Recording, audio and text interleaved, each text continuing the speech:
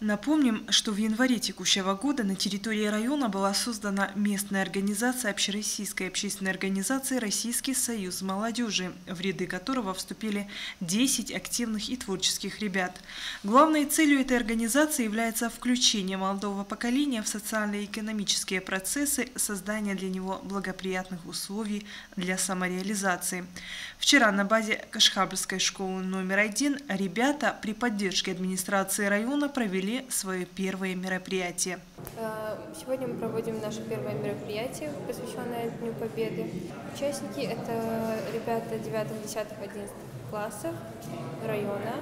Цель – сохранить э, память у детей, чтобы они всегда помнили о Великой Отечественной войне. Участниками памятного мероприятия стали старшеклассники района. Организаторы подготовили для них познавательную программу, в рамках которой была проведена викторина на военную тематику, просмотр короткометражного фильма.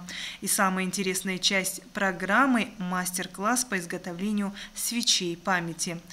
Кульминацией событий стало зажжение свечей у обелиска. Школьники почтили память павших героев минутой молчания, а после зажгли свечи как символ вечной памяти и скорби о погибших, чьи жизни унесла Великая Отечественная война.